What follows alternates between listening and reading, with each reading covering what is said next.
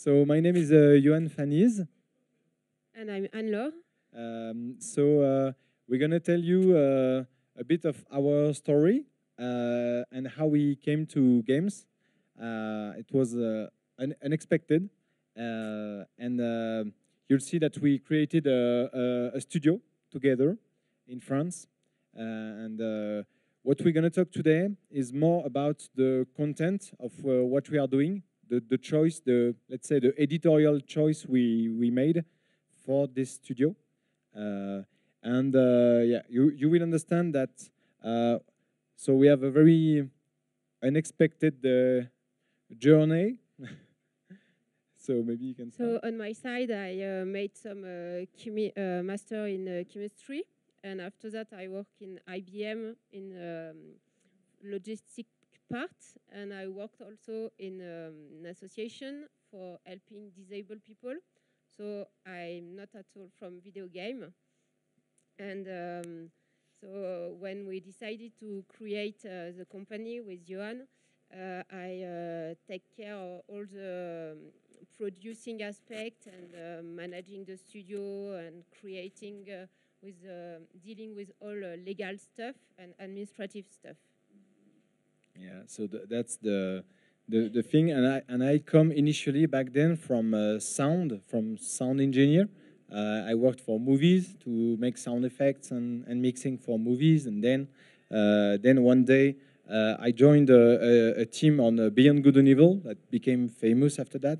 It's it was at that time it was nothing, and we did this this small game, and with a very good team in Montpellier, and uh, and after that, so we were about uh, 30, 30 people to make uh, Beyond Good and Evil. So it was, compared to now, it was quite small. Um, and then we did like King Kong and the rabbits. And, and then I joined, uh, we moved to uh, Singapore to work on Assassin's Creed 3. Uh, the, the, the naval part, so the boat part, that was the new, the new thing we had to develop. So it was very, very nice experience. Uh, but, uh, but at the same time, it was a huge team, like five, five and more than 500 people across uh, different studios, so Montreal, Singapore, France, a lot of different countries. Uh, so that that was the big like big industry.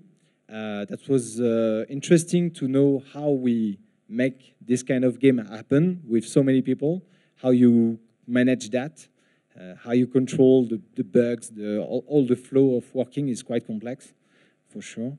Uh, and then when, when we went back to, uh, to France, uh, I, I, wanted to, to make something very different from Assassin's Creed because I, even though I liked the, the, the big team structure and the fact that you work on a very uh, big project, triple, triple A, with a lot of, uh, uh, a lot of budget to do whatever you need, so it's, it's comfortable, very comfortable.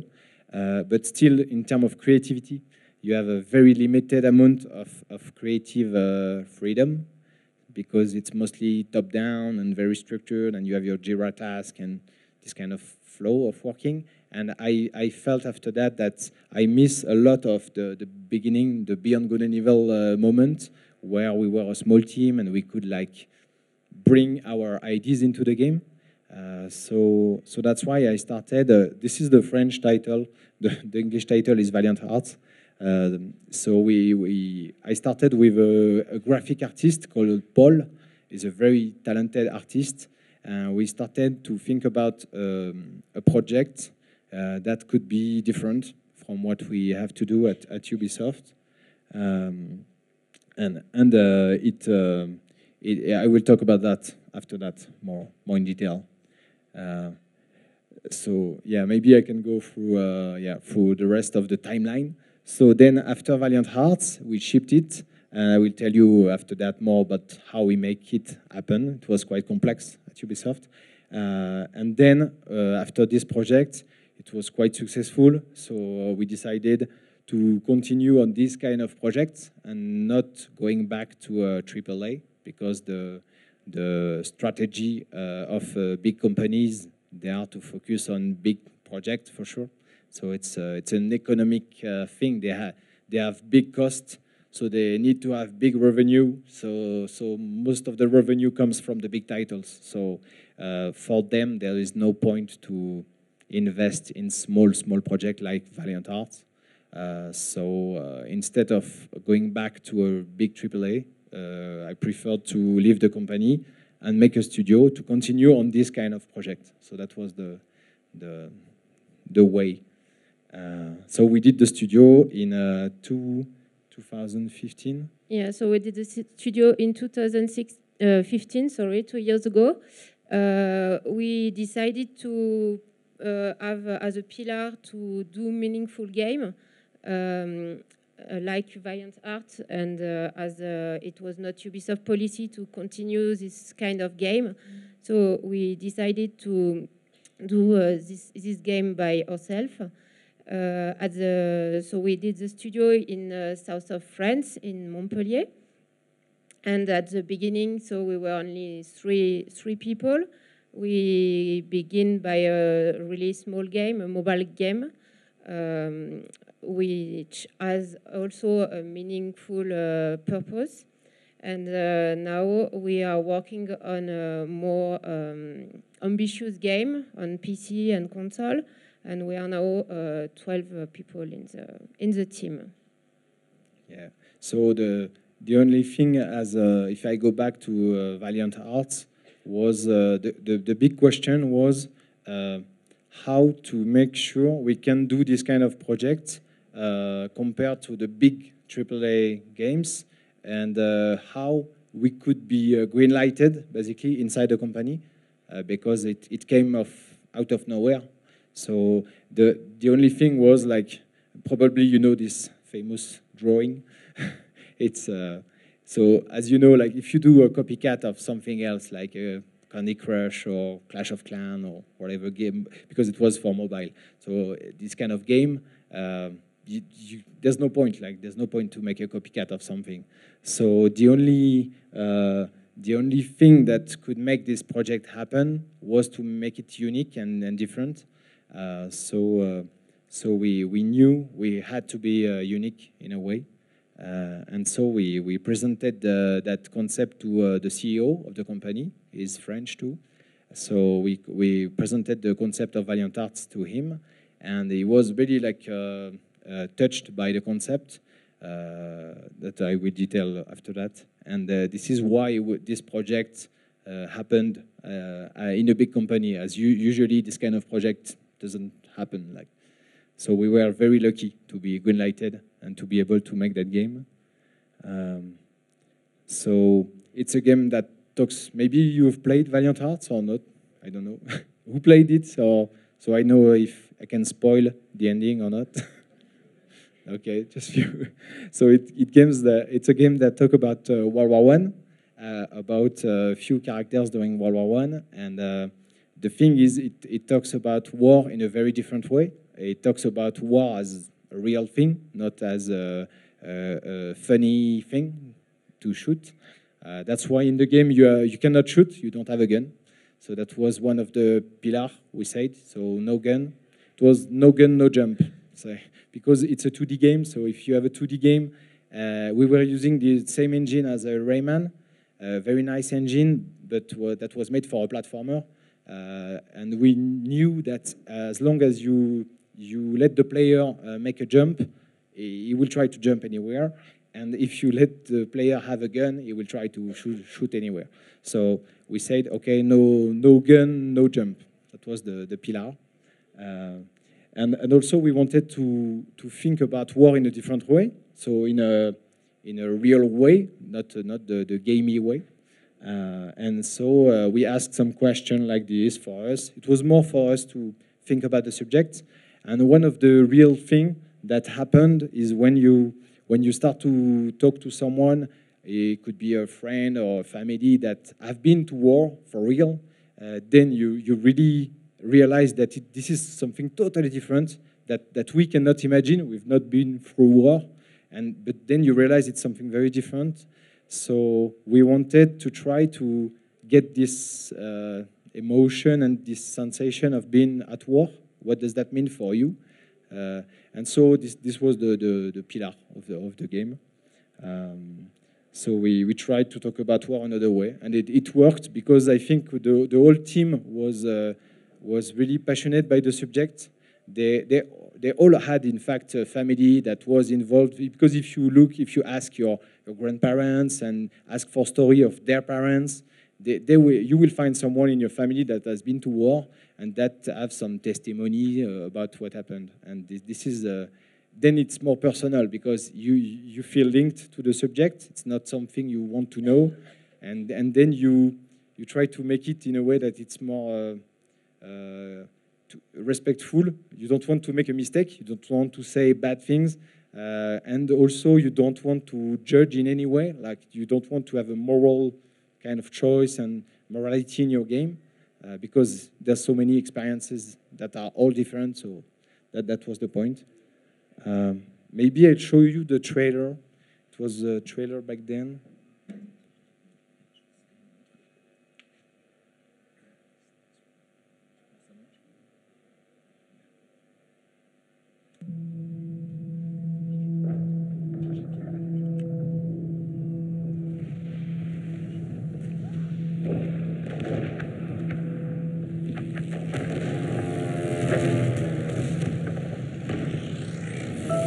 My dearest friends, through the evil noise of artillery, tanks, and planes, I remember our adventures, your friendship, and your pain.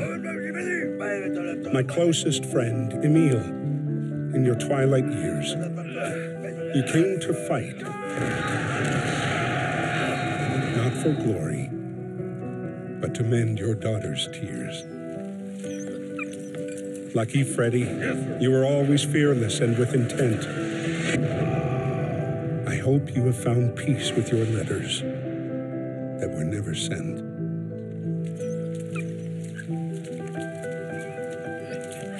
Anna, my bravest of warriors across the Western Front, saving the mountain of wounded without firing a shot. And Karl, if only I could light your way home through the fields of war, through treacherous nights, to be with your family once more. Although I cannot write these words, and the time has come to part, your stories will always remain, as will your valiant hearts.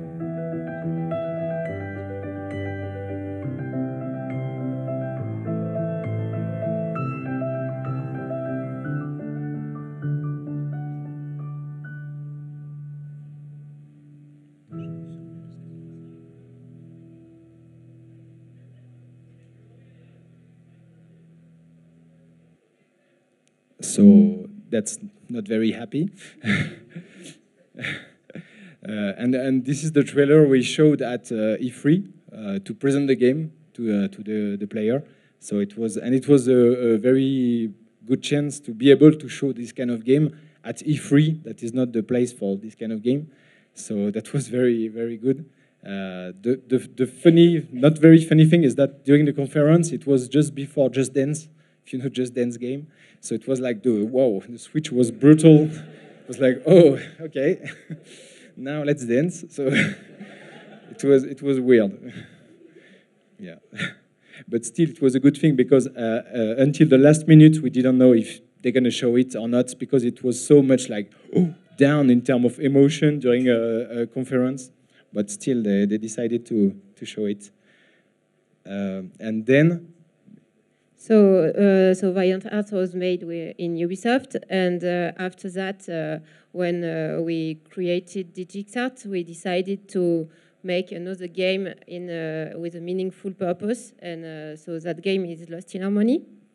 And so, this is a rhythm and runner platform game. So it at the at first uh, try you cannot see it's a really meaningful game and we didn't really communicate about that uh, we had a narrative um, we we had a narrative part in the game Uh, and the game is about uh, the illness of uh, a teenager. this is a complex subject that a big company doesn't want to to talk about because it can be afraid and it's not really it doesn't um, uh, people doesn't uh, want to buy that sort of thing um, so we didn't really communicate about it, and it was more a surprise for people. We were trying the game, and they say, "Oh, this is." Uh, they discovered the narration and the story during the during the game. So we, the point uh, for this game was to try to to raise awareness about uh, about illness and cancer and uh, about this and this one was a, a true, truly indie game because it was the first one for our studio. So of course the the budget was not the same, and uh, the so our capacity was very low. So, but we still managed to make it happen. Uh, it was a mobile title, for, of course, because with this budget. And uh, yeah, you'll see the good thing is that Google and Apple, they really supported us uh, with that project, probably because of the the subject and the way we treated it. So it's it, it's a very good thing. Um, so to to do this kind of projects, um, basically the the the the process is is uh, the same. Even if those two games have nothing like related, uh, the process is the same. Uh, is that first you start with real life, like uh, testimony from people who have been living through those moments. Uh, and so it could be like personal stories, like I said, or, or human encounters. Like for the Lost in Harmony, it's a, it's a meeting in Toronto in a big um, in this institute uh, about cancer, and they, they, they they told us that they want to, if it's possible, to talk about cancer in a video game. And we say it's kind of a tricky subject, but yeah, let's try, let's try it. And with their help, with the specialists that were there, they helped us to build the story, to make sure we don't do any mistake, so to, to be very respectful about that, that subject. So that was very, very nice. Uh, and so, um, yeah, the, another thing that is important in those two games is that we want to have multiple point of view, because uh, if you just express one point of view, it could feel like, okay, but this is just one example, and there's so many other examples that are different in the world, so maybe to try to cover in a way more examples. Uh, maybe it covers it a, a, better way. And, and it's good because to avoid the judgment or morality thing, to have multiple point of view is good because you let the player decide, you let the player choose what he wants to think about that. Uh, it's, it's, a, it's a good uh, tool, I would say, to have a different point of view. It, but probably it's more expensive to do because you have a lot more animation to do, a lot more things to do because also you want each character to be specific with not the same skills or not the same, because if, if they have exactly the same skill, there's no, there's no point in terms of gameplay. Uh, so it's, it's more difficult for sure.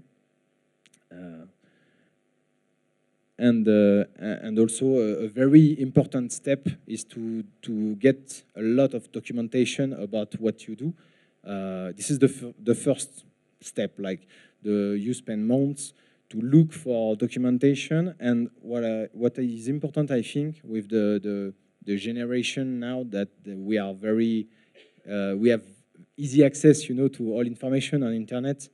But the thing is, uh, internet is not everything, and uh, you can find false like uh, false information on the internet on Wikipedia. There are for World War One there were a lot of mistakes on Wikipedia. I was surprised because I was working with a lot of uh, historians, uh, specialists of this this this uh, part of the war, and they were saying no, this is wrong, this is true, uh, and it's important to go and meet people uh, to get yourself their their testimony and information it's very very important. And also to feel the to feel to, to feel it uh, yourself. So let's say this, this is the, the real trenches. Uh, there are still some trenches in the north of france uh, and those one are real ones. And i went there mostly i went there to record sound to get some ambience and, and what we call silence like room tone what, what is the tone in a trench. And but when i was there it was then like not only for sound because suddenly it's like the, the feeling of being in that in that trench is really weird. It's like uh, the, the the trench is higher than what you expect. I, I don't know. In my mind, the trench was like something you dig in the in your garden, like maybe like this kind. But no, no, it's very high because otherwise you would be killed. So it's very, very high. You have to climb a, a first uh, step, and then you can climb a ladder if you want to go outside. But it, it, the emotion you have there is very important, and the fact that you feel this emotion uh, after that, when you go back to your studio, uh, you, you want to make the player feel it also. So by the sound, by the, the mood, the ambience, the, the visual, the lighting, the everything, the shader, uh, you know what you want to target, uh, and it's very important. And I think if you can afford like to bring the the whole team there, like the the artists, the animators, if they can be there, because I, I brought back some objects from World War One, but just small piece, like because I couldn't bring back a, a real shell, but like just the the top, the head of the shell, it's that size. But when you have it in your hand, it's it's very very heavy but it's surprisingly heavy. And then you can imagine the, the, the, the weight of the full shell. And uh, you can imagine when it explodes, like the, the damage it could create with all the small uh, particle. So for animation, it's important also for them to feel the weight of a, a, real gun, a real shell, to see like, oh my God, this is compared to our uh, little body. Our body is very fragile compared to those objects. So then for the animation, it's interesting to see, okay, if I have a, a shovel in my hand, how, how would I run with a shovel?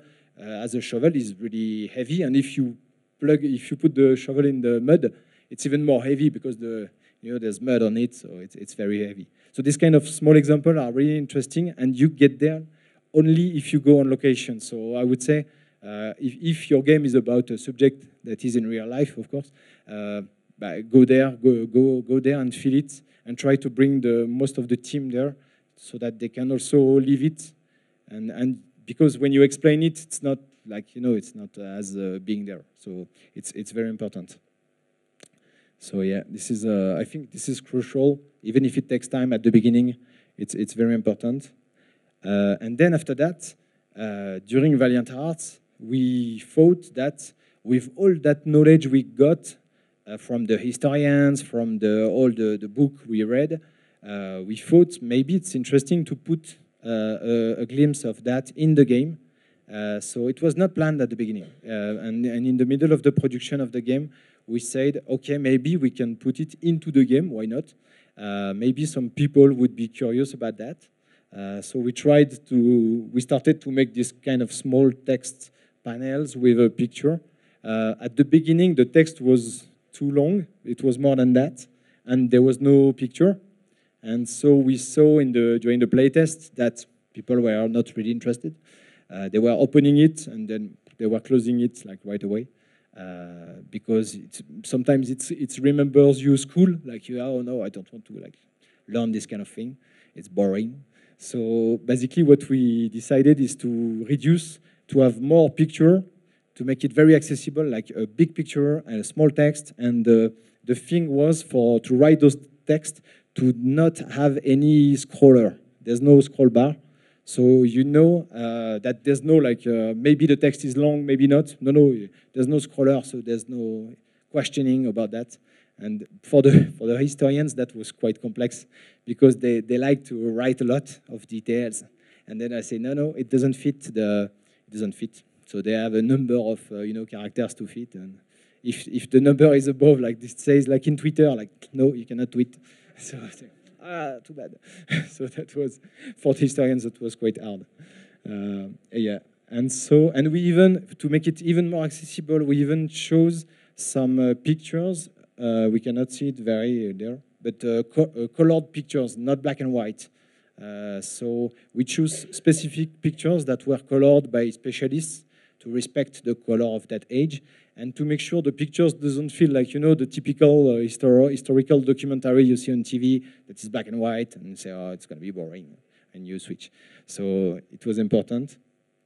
Uh, even though certain historians don't like this kind of colored thing, uh, but we prefer that. And then we did a playtest, and then the next playtest was very different because uh, at all ages the player uh, they were opening the, they were reading the, the, those panels, and because also those panels they were uh, located in very specific area where it, it fits exactly with what you just played. So you play a certain moment, let's say in uh, Neuve-Chapelle, it's a village in north of France, it's winter, so there is snow everywhere, and, and you play, and suddenly you meet some Indians, some uh, uh, Sikh Indians with their, uh, I don't know the name in English, uh, and you say, some people say while playing, like, what the fuck? It's France. It's World War One. There's no Indians over there. Like, what's the point? And then you open the, the, the historical panel, and you have the real photo of those Indians that were there because the British Empire brought a lot of them in France to fight. So this kind of like wow surprise was was very interesting to to tell to the young players. So that that was a very very nice uh, thing. We didn't put it as a mandatory thing. We didn't want to you know, be like an intrusion in your game, like boom, like uh, so you open this panel with a button, uh, but a button that is dedicated to that. So this button is only for historical facts. It's it's the yeah. There's one button, and anytime in the game, if you press that button, you're gonna get a panel. So depending on where you are, it's a different panel.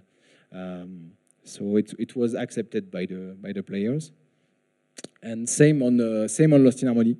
We did a, a smaller version of that with a link to a, a website because we didn't have the possibility to put a lot of text and stuff inside the app. So we preferred to have a link to an external website. This is what is very good with apps instead of you know console games. Uh, in an app, you can have a link to anywhere on a website, so that's very very useful. As for a console title, if you want to make a link to to to a website or something, it's it's like not really possible because if you do that, you're going to become a 18 plus uh, game because they say if you do access to a, a, web, we don't control what you can see on the web, so your game is a 18 plus title, and we don't want to have an 18 plus uh, title for sure. So that that's something to know. um, so and, and we did a partnership on Lost in Harmony with the PMCF Institute to have a link to their app because they also have an app. So we linked to their app directly. So that was, uh, that was good.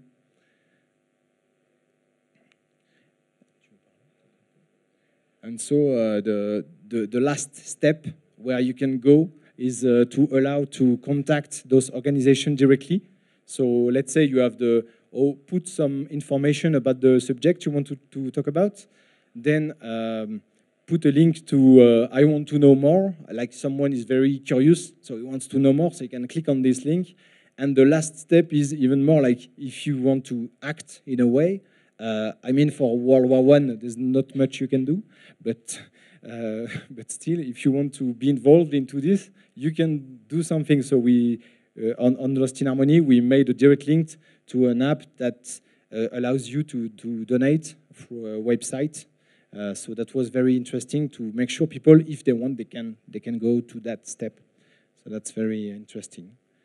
And about Valiant Heart, there was also a contest, and people can send uh, some uh, picture of their grandparents and uh, every uh, object of the war.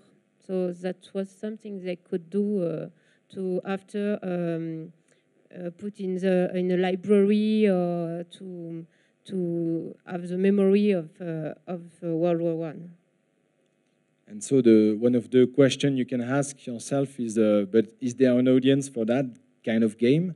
Uh, this is a question we didn't ask ourselves when we did Valiant Hearts because we just wanted to make a, a, a, good game for us. Like, we just wanted to talk about that, and, and we realized after that that yes, there was there was a strong audience, uh, it was slowly there. It was not like, you know, a big hit, like everybody wants to play your game right away. It was very small at the beginning, but then uh, the more the, the more the game was on YouTube and this kind of thing, the more the sales were rising. And, and then we had the, I think there was the PlayStation Game of the Month, like the free Game of the Month and this kind of thing. And then suddenly you have like millions of downloads. Uh, so it, it was, uh, and also the, the awards, of course, it helps to raise the, the awareness of the game for sure. Uh, so yeah, so it was a, a big surprise. Uh, and then also, uh, even if it's a very smaller level, when we did the studio as an indie studio, uh, we we did uh, we we've been featured by both Apple and Google. on the App Store and the Play Store, and that was very good and like it was crucial for us. You know, an indie studio without featuring, you are nothing because you have no marketing budget. So it's uh, it's this or you die. So it was good. we were very lucky, uh, and we, like you can see, we were even featured in China. That was not expected at all. Uh, so that was a very good surprise because App Store in China is very big. So it was it was really cool. There's no Google Play in China, as you know. Google is not there, but uh, at least for iOS, we were on in China, and there were a lot of downloads in China. So that was that was good. Uh, and so yeah, we had a lot of a lot of players. So that's a, a very good thing. And then the last question is, uh, okay, it's good. We have an audience. It's good. It's it may be sustainable. We may continue to do this kind of game. So that's a very good thing. Uh, but then is there is there a real impact? I mean, uh, we, you try to talk about something, but you're not really sure. Like, does it like hit the people? Like, do, do they are touched by this or not?